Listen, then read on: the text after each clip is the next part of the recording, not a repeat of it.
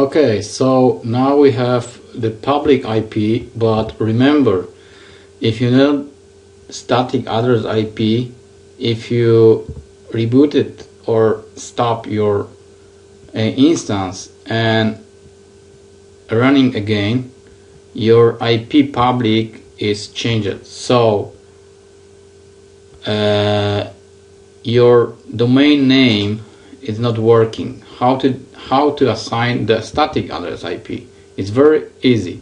So just create other resource, select static IP, and scroll down, attach to instance. Select our instance, and after that we call unique names. So static version one. After that we just create. Okay, so now we have the static IP AVIVO for our connection. So now what we must do? Now click, select this IP, copy, and go back to Lightsail.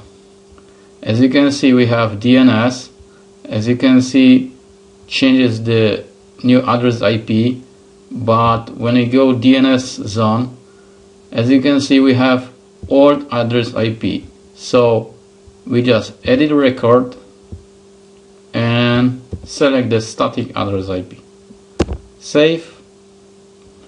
And now we must uh, check if our address IP working.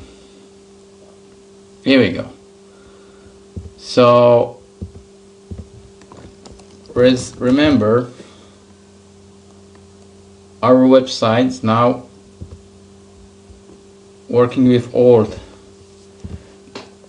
but when we assign static working.